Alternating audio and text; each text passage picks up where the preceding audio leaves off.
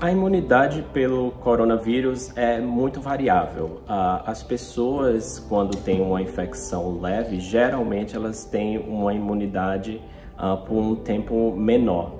Então, a imunidade natural nem sempre é o melhor tipo da, de imunidade a ser adquirida. A imunidade pela vacina seria melhor.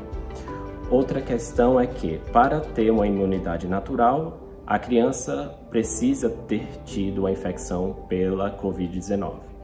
E o risco de ter uma infecção pela Covid-19 é uh, acabar tendo uma uh, doença grave, requerendo ser uh, hospitalizada e também a necessidade de unidade de terapia intensiva.